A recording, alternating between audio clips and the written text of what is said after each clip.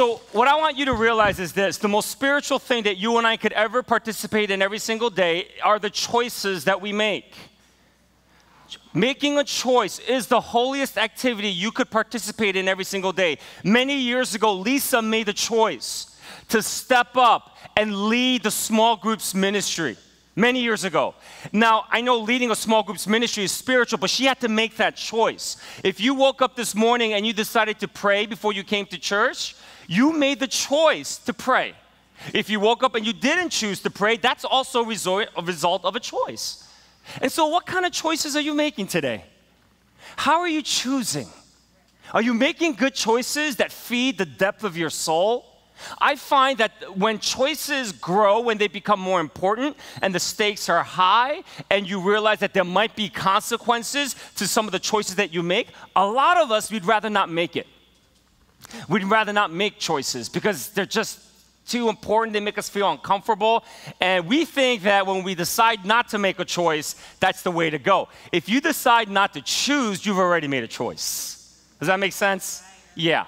And so today, as we go into this passage, I want you to pay special attention to that because I too struggle to choose many times. I still remember when I dated Jenny for about six and a half years. I was in my early 20s. We talked about marriage. I said, Yeah, I'd like to marry you. But I was so scared to propose. I wasn't sure. She was my very first girlfriend. I didn't know what else was out there. I was like, I don't, I don't know. Like, I don't know if you're the one. I, I think you're the one, but I'm not sure. I mean, I was just so confused. I didn't know. I was too scared to choose. Six and a half years.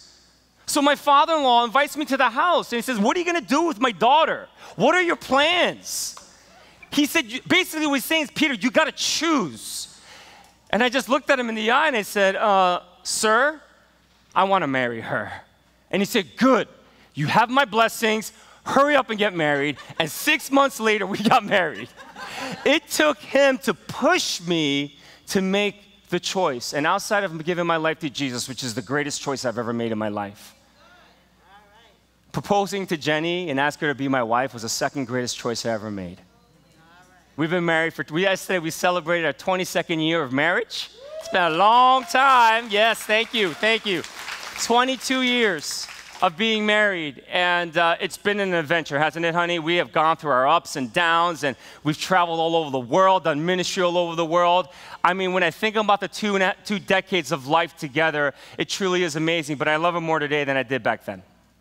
And that's only because of God. It's not because I, I have this amazing ability to love. God's, God loves her a lot more than I do. And there were so many days if you add them all up, maybe there'll be multiple years where I just said, God, I don't love her. So I need you to give me the love you have for her. And He's always has. And it's been an amazing two decades of marriage, and I'm so grateful, grateful for that. Hey, little man. Hi. You okay? Say hi to everyone. It's a. There you go. It's all good. It's all good. Thank you, Pastor Shirley. Thank you, thank you, thank you. I think you want to celebrate in person on stage yeah. with my, me and my wife. All right. It'll happen to you one day, I promise you, little man. Promise you. Yeah. So, listen, so it's the choices that we make. And so today, Jesus is going to present us with two choices. Like these two kids, they're brothers, all right? Jesus is going to give us a challenge. And the challenge is will we make a choice? There are two key choices he wants us to make today.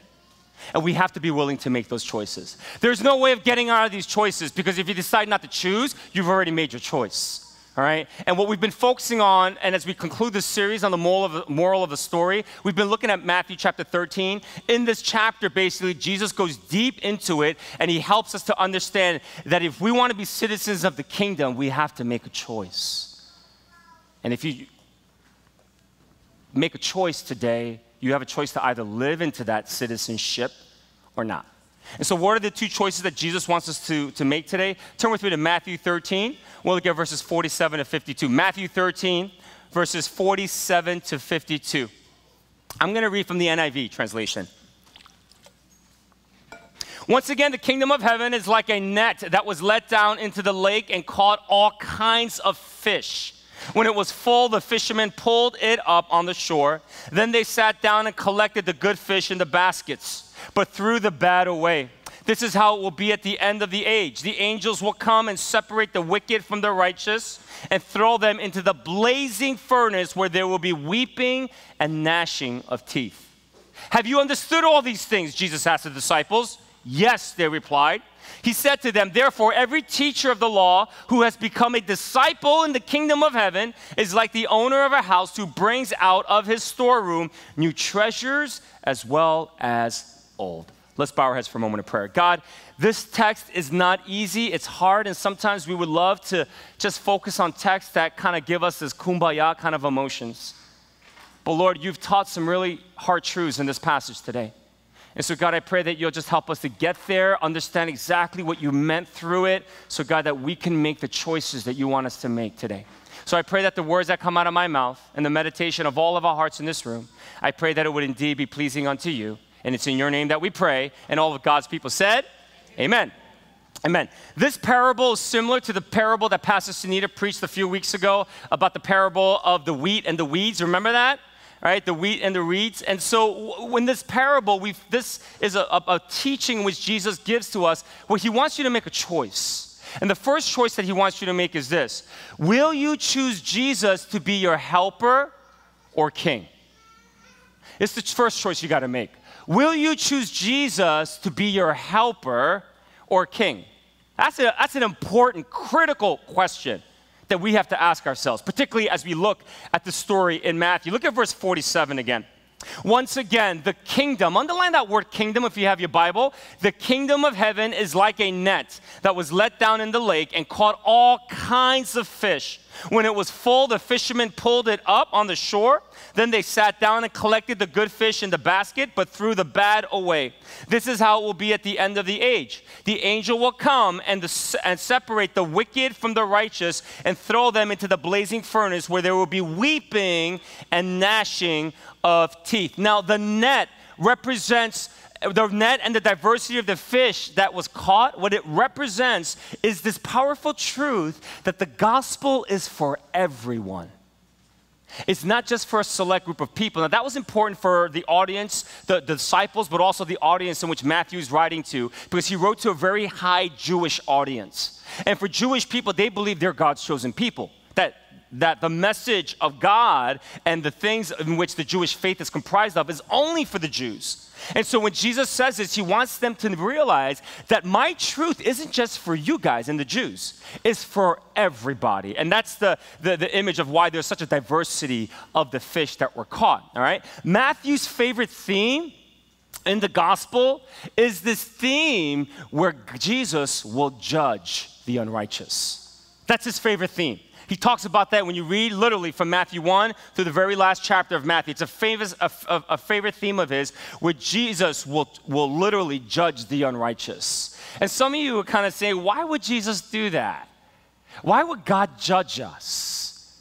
Because he's God. That's why. See, a lot of us, when we read passages like this, we kind of wonder and we say, God, why would you do that? Would you just think about life here today? Think about our society. Where do you think our life would be or where we would be today if there weren't any judges to enforce the law? Could you imagine where, what kind of anarchy we'd be living in right now? Could you imagine like the fear that you and I would have to even leave our house, leave our home?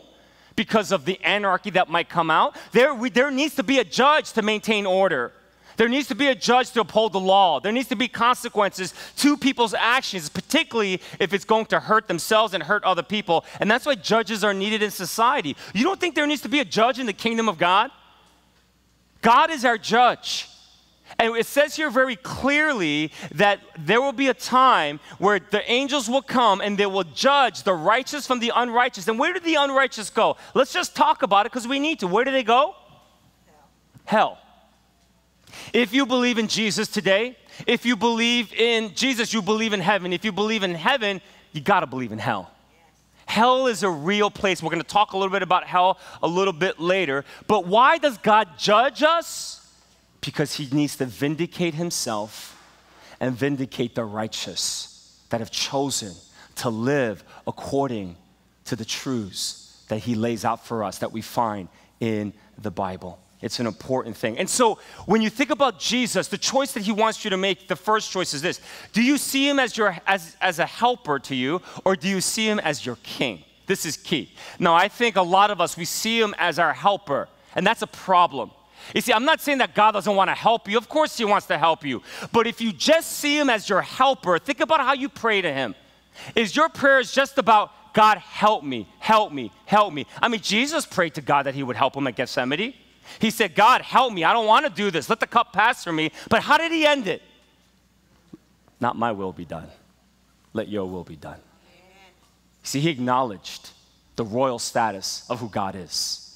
And it's the same way with us. I'm not saying you can't go to God and say, God, I need you to help me. Jesus, I need you to help me. But at the end, you got to say, but not my will be done. May your will be done. That's critical here. Because if we don't do that, then what is this relationship between us and Jesus when we see him only as our helper? You know what it is? We become the king and he becomes our helper. That's it. If you pray in such a way where you're always asking God to help you, asking Jesus to help you, basically He's become one of your servants and you've become the king. And maybe that's one of the reasons why God can't answer your prayer request because Jesus is your king. He's not just your helper. It's very difficult for us to understand this language because we live in a democracy. And in a democracy, we don't have any kings in this country, right? And so, because of that, we, we believe our president, we believe our local officials are all here to what? To help us. Yes, you can see the president of the United States as our helper, yes. But if you live in a monarchy, you can't do that. Scott and Christina Kwok, they're missionaries to Thailand. Scott was a former staff member and a member of our church. They were here about three weeks ago. Remember, they came up on stage. Yep, there they are. And, uh, and they live in Thailand. Thailand is not a democracy, it's a monarchy. I don't know if you guys know that. There is a king. And if you disobey the king, there are severe consequences. But what's happening, what they're telling us, our elders met up with them after church and we had a cup of coffee. And what they were saying is that these young Thai millennials are different. They're defying the king. They are literally demonstrating and saying, listen, we don't care what's going to happen to us anymore because our life is horrible. You need to change things to this country so that our lives have a purpose and a future. Do you know what's happening to them? A lot of them that are getting caught by the authorities, they're facing life in prison. There's no trial because with a king, there is no trial. You can't defend yourself. And these young people are willing to literally put themselves in prison their entire life. They're saying, We don't care. We don't really have a life. So we'll go to prison for our entire life we want you to change. And the king is catching them and putting them in jail. That's the picture that I want you to see because that's what's going to happen to us on the day of judgment. That there's going to come a time where Jesus is going to come with his angels and they're going to they're going to take the righteous and they're going to separate from the unrighteous. And guess where the unrighteous will go? They will go to hell. They're going to go to hell. Let's talk about hell a little bit. Hell is a real place. What is hell like? Jesus says hell is a place where there will be weeping and gnashing of teeth. Have you ever thought about what that meant? I was talking to a veteran many years ago, and he said this to me. He goes, Peter, you know, it's easy for people in this country to say they believe in God or they don't believe in God. It's okay to be a part of a pluralistic society, and everyone says, Yeah, I believe in God. And there's a lot of people in America that today they say they don't believe in God. But he said this to me He said, Peter, on the battlefield, there are no atheists. Everyone believes in God because they know their lives are at stake. When I was on the battlefield, I did not meet one soldier that said they didn't believe in God. They all prayed before they went on the battlefield. Hell is a place where you go on a battlefield and there is no God, there is no hope. Think about the worst day of your life and times that by a couple thousand. Weeping and gnashing of teeth happens because every day of your life will be a day in hell where there is no God, there is an absence of God. That is hell. That is hell. And so, how do we make Jesus our king? How do we make the choice to make Jesus our king? It's not a verbal affirmation, it requires a lot more than that. We've learned that over the last couple of weeks. How do you say to Jesus, Jesus, I choose you as my king today? This is what it is. You have to be willing to live out the truths that Jesus teaches us. You have to be willing to commit yourself to obeying Jesus Christ. You have to be willing to look at the Bible, particularly the Sermon on the Mount, Matthews 5 through 7. If you want to know what it means to obey Jesus, read Matthew 5 through 7 because he taught it, and this is what you have to do. Matthew 5 through 7, read what he says that we have to do, and knowing that this isn't just Jesus, our friend, telling us this, this is Jesus, our King. We are part of a monarchy. There are no options here. Jesus says, as your king, you must do these things. Why? Not so that Jesus can accept you because he's already accepted you, because our king, guess what he did? He died for us on the cross and resurrected from the dead. So why does Jesus want you to obey his commands? Why? You think it's so that, you know, it can kind of feed his ego and it could affirm his kingship? Does he want you to obey his commands so that he could feel better about himself as king of the universe? No, it's silly. Why does he want you to live this out so that these truths that you live out as you obey them, you can live under the power of it? It's so that you could begin to develop an intimate relationship with your king. That's it. Why does God want you to obey him? It's not so you can affirm that he's the creator of the world and he's God. He wants you to obey him because it leads to you living under the power of the truth that Jesus is telling us to live. And then when that happens, you have an intimate relationship with God. You have a relationship with God where you and God will be close, where you'll be able to connect with him. And your life, even though sometimes it might be filled with some hopelessness, Jesus will breathe life into it. That's what it means. That's what God wants you to obey. Sometimes in the church, we teach obedience is like, if you don't do this, you're a terrible Christian. Yes, in nature you are. Like when you look at it, technically you are. But the reality is, God wants you to obey Him so that you can get to know the depth of who He is, so that you can know the height and depth and width of His love for you and for me. But we'll never know that unless you see Jesus as your King. Because if you just see Him as your helper, you're the king, and you want Jesus to do things for you. And when he doesn't do things for you, what happens? You get angry. You walk away. You struggle with your faith in Jesus Christ. It just it happens naturally. And usually the results of that is then you live in a very deep pattern of disobedience to Jesus.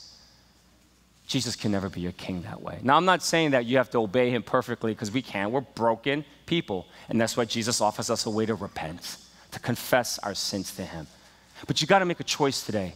Is Jesus your king or is he your helper? Because if he's just your helper, he can't do much for you. But if he's your king, get ready. Because our king doesn't ever make a bad decision. He always helps, he blesses, and he strengthens.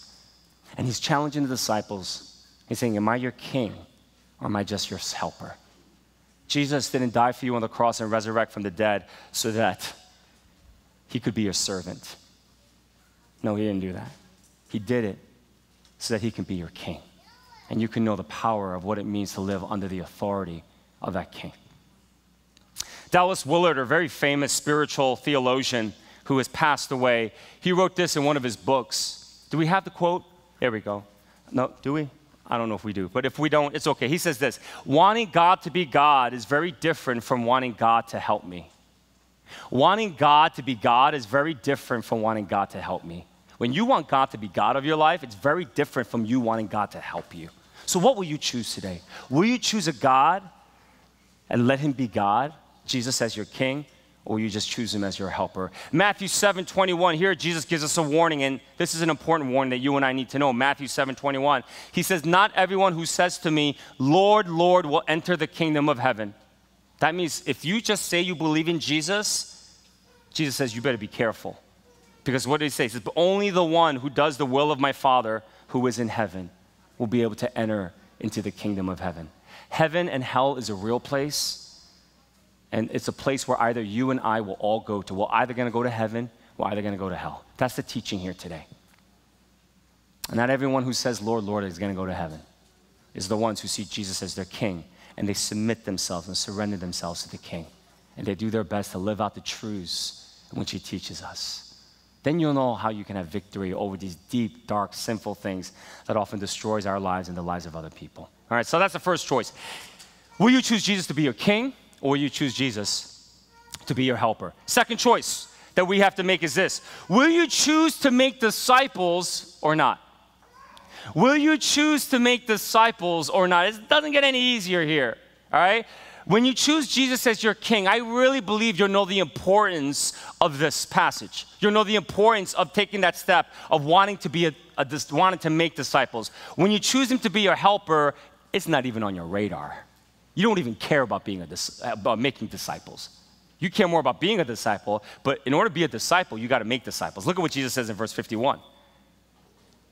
He says, Have you understood all these things? Jesus asked his disciples. Yes, they replied. Then he said to them, Therefore, every teacher of the law who has become a disciple in the kingdom of heaven is like the owner of a house who brings out his storeroom new treasures as well as the old. All right, now Jesus asked the disciples if they understand his teachings. The disciples reply, Yes. And then Jesus tells them that they are now to be the new teachers of the law that they are to teach now the things of Jesus, that this new old and new thing, right? They are to teach this to other people. Jesus is saying that you have to raise other disciples. That discipleship, one of the greatest marks of discipleship is this you have disciples.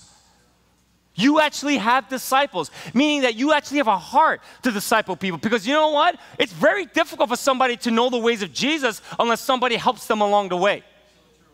Right? It's very hard for people to just to just just to go. And some of you know how hard that is because nobody's ever invested in you. Nobody's ever said, Why don't you come along and I'm going to help you to grow in your faith in Jesus Christ? You know how hard that is. And then some of you, you actually have had discipleship. Somebody's actually discipled you. Are you discipling other people?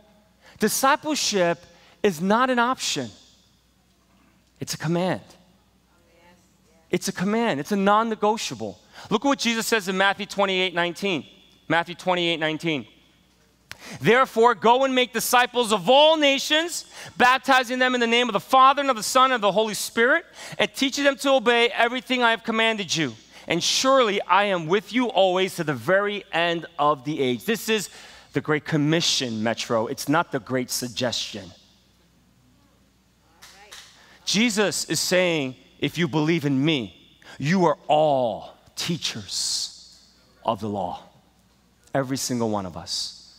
So it's not about you just saying, I'm going to be a good disciple, but it's now saying, God, will you give me a heart to disciple other people? And discipleship, you know what discipleship is? See, a lot of times you make it way too much about you. It should never be about you. Some of us will say, Well, I don't know too much Bible. Like, I don't, I don't know if I can do this. Like, I struggle all the time. It's not about you. It's you believing that when two or more gathered in the name of Jesus, God will be there. And God could use you to encourage people, to disciple them in a way. What discipleship really is, is about an invitation to have somebody be a part of your life. It needs to be life on life. So they learn how to live for Jesus by watching how you live your life more than what you say. Now, we've made a big mistake in the church, I think, is because we've made discipleship to be more academic and filled with classes. It's more than that. Discipleship is life on life. I love what Paul says in 1 Corinthians 11 1. Here's what he says. He says, I follow, he says, follow my example as I follow the example of Christ. He tells the people in which he's discipling, he says, if you want to grow and be more like Jesus, just watch how I live. Watch how I follow. Why do you think Jesus lived with the disciples for three years? He did that because he wanted them to see how he lived his life. They knew how he lived his life because in the beginning of Mark, what happens? People were trying to find him. And who knew where he was? The disciples. They're like, oh, yeah, Jesus always prays at this time. We'll be back. We'll go get him. And they go and they find him. And of course, he's praying. Follow me as I follow Christ. So, discipleship or mentoring, that's a better word to use today, maybe. Mentorship is really about you inviting other people to be a part of your life and allowing them to watch how you live your life. That's what discipleship is. That's what mentoring is. And when you choose Jesus as your king, you naturally begin to have a heart for this. And what I love about this is when I see people who disciple, God will put people in your heart. Or people will come to you and say, Will you disciple me? It's really interesting, isn't it? I don't want to embarrass this person, and she really was, I mean, she gave me the green light, but she didn't really want me to mention her. Angie Bae is uh, somebody in our church. I'm going to embarrass her. I don't care. I hope she's here. I don't know if she's here. But Angie Bae is somebody who I've gotten to know very well. We meet up every month for mentoring and things like that. She currently oversees Zimele USA. And uh, her leader, without her leadership, Zimele USA would not be able to be where it's at today. She is a fantastic leader. But as we meet every month, there's always like dialogue. As she's talking about life and about God and different things, like God would sometimes put people in her heart. God would just lay some people in her heart. And she'll just naturally reach out. Say, hey, you know what? God's laid me on your heart, on my heart. So I want to just say hello. It's interesting. Sometimes people will call her and say, Angie, would you, would you mind mentoring me? And recently I know that somebody, God put somebody in her heart and said, you know, and, and we talked about it. She's like, Peter, like, God's been putting this person in my heart. But doesn't it sound a little presumptuous, presumptuous that I go to them and say, hey, you want me to disciple you or mentor you? I was like, no, that's what discipleship is. And she just naturally, and I never talked to her about like you should be doing this because you're a follower of Jesus.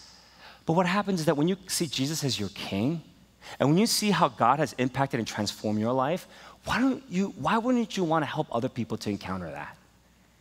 And so she naturally calls out and reaches out to women and say, "Hey, you want you want to meet up?" She's never gotten a no. And she disciples. It's so organic. And it's not like, okay, let's sit down, let's talk about, you know, predestination, let's talk about theology 101. It's about how do we find God in the doldrums of life? How do we find God in the natural journey and the pilgrimage that God brings us to on a daily basis? The one thing, though, that you do need to know that Jesus makes it very clear in this passage is that when we choose to do a life where we disciple other people, is that we have to be people of the Word. Listen, if you're not a person of the Word of God,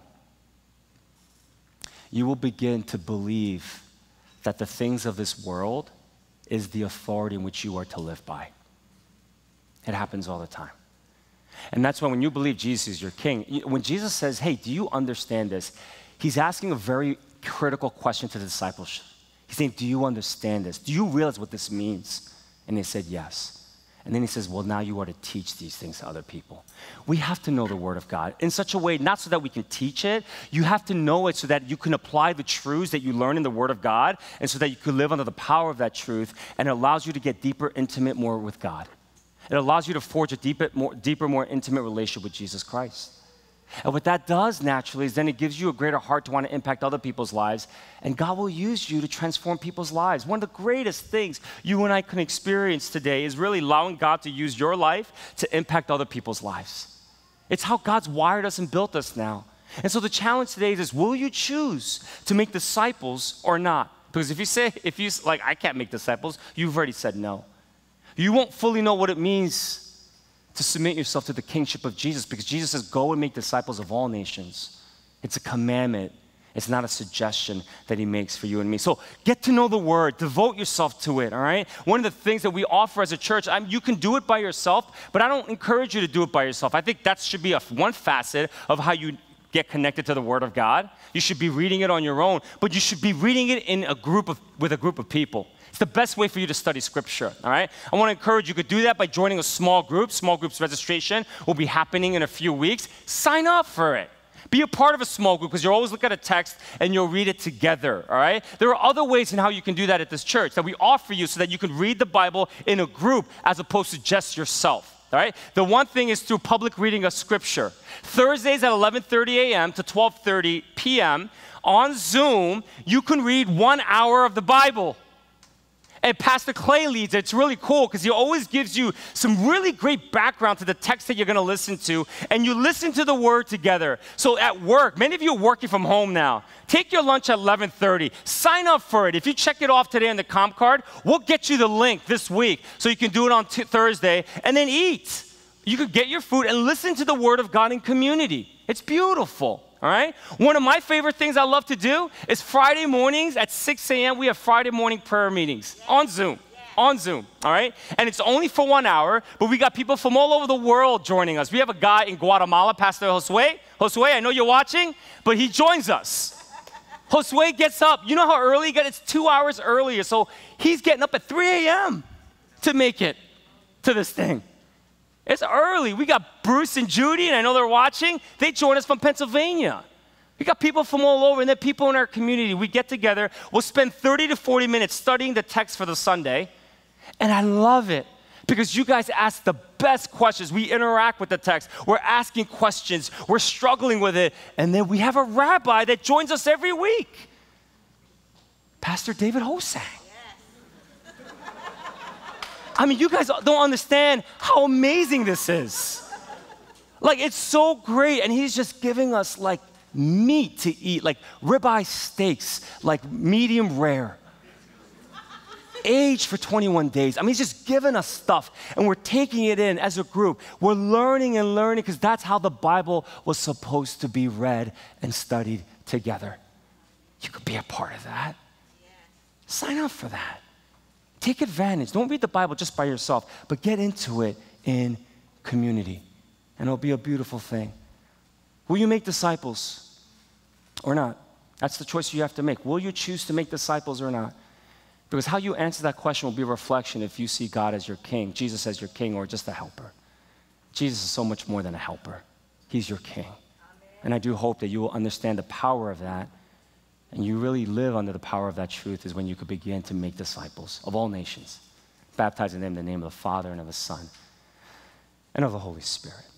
One of my favorite uh, preachers and uh, a man that's made a real big impact in my life is uh, a pastor, an Italian pastor. His name is Tony Campolo. How many of you know who Tony Campolo is? Wow, okay. Just one, two people. Campolo is one of my favorites.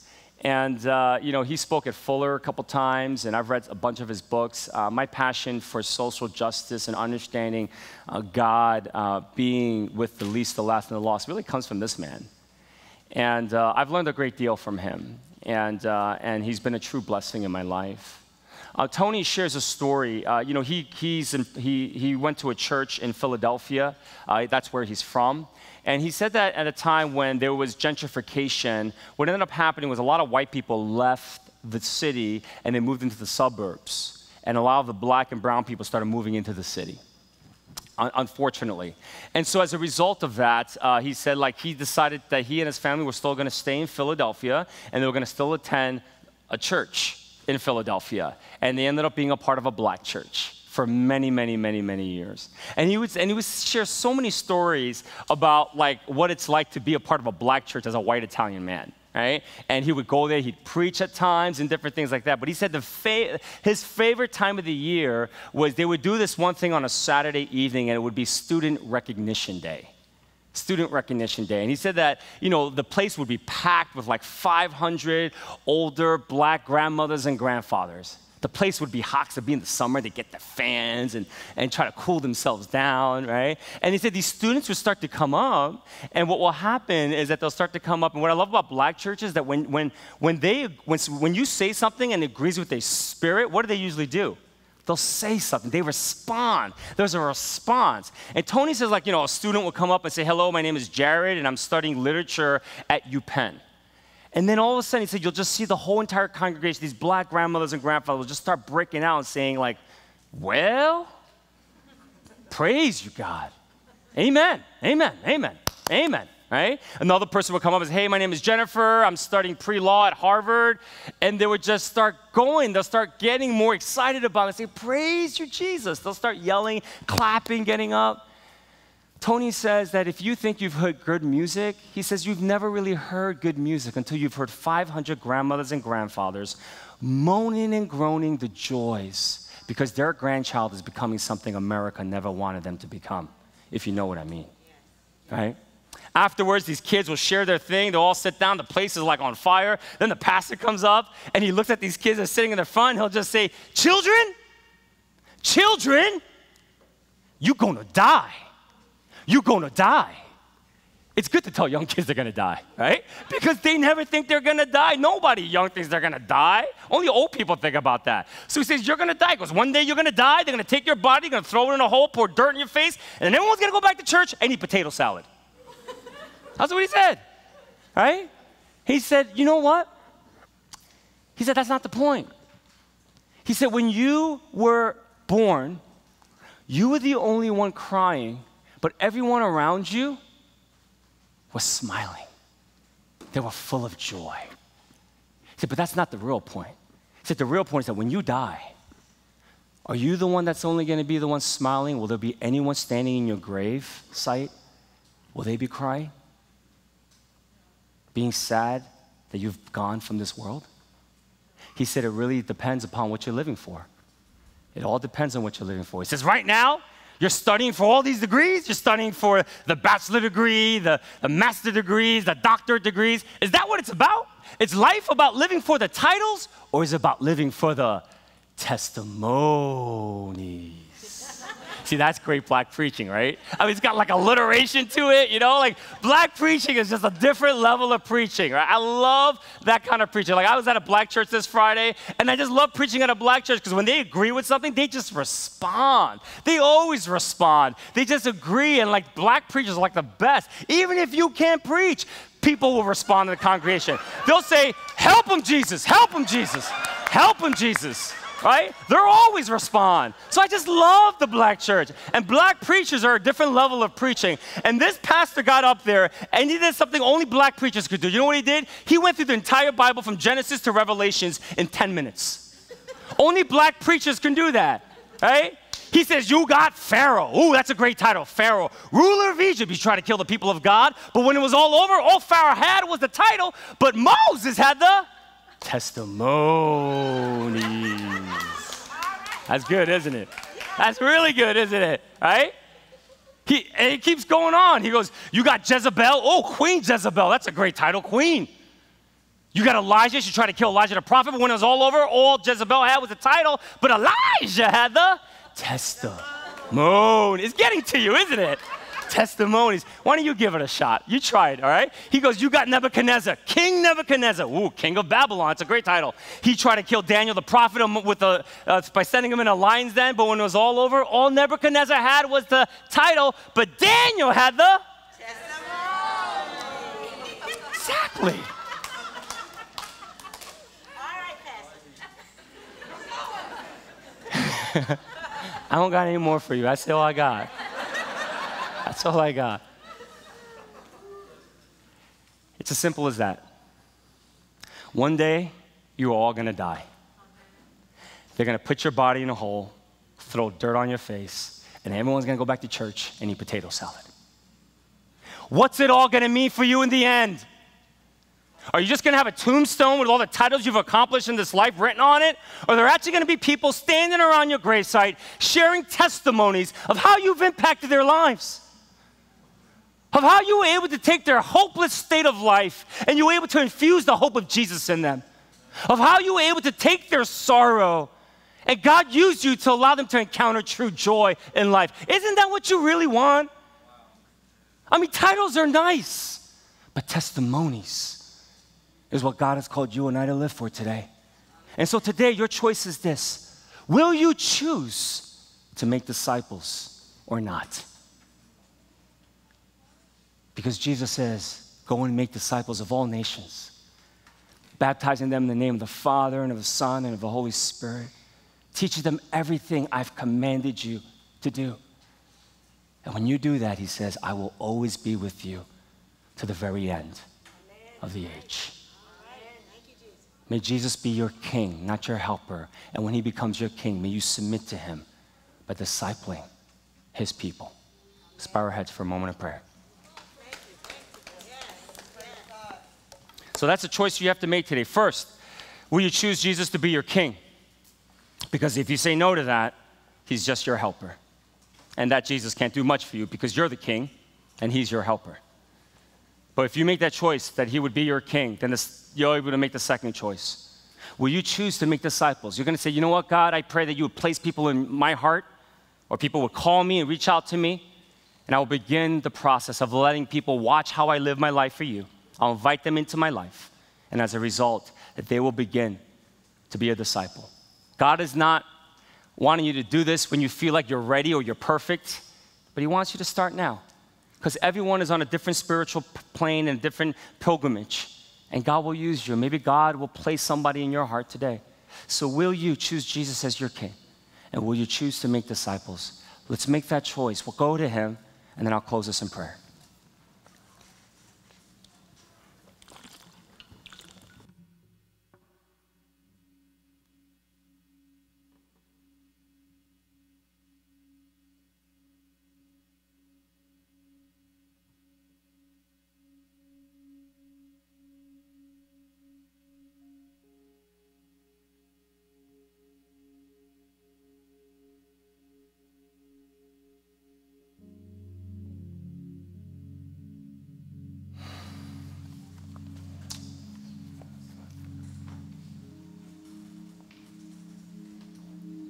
Lord, help us to choose you as our King.